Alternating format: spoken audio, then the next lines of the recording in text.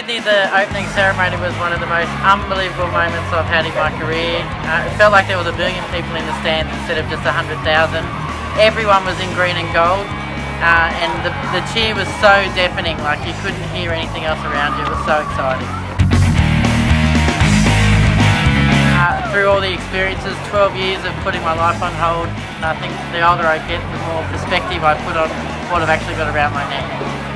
Uh, I did speak to the softball team this year before they started. Uh, I was just sort of telling them to not look too far ahead, to look at enjoy the experience because it was going to be one of the most unique ones. I'll be talking about it in 20, 30, 40 years time.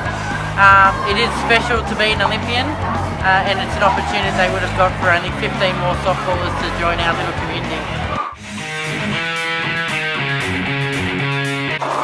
I guess the array of sports, I'm, I'm, quite excited about turning on the TV and seeing things like skateboard and surfing and um, I think just in general it's become a bit more an X Games combined with an Olympic Games but I understand with everything tradition has to change at some point and, and we want young people to be involved in sport. Uh, I'm all for it so I just think it's a great thing to see so many other different sports and uh, it's what the kids are interested in these days so I think we have to go out there and do what they need.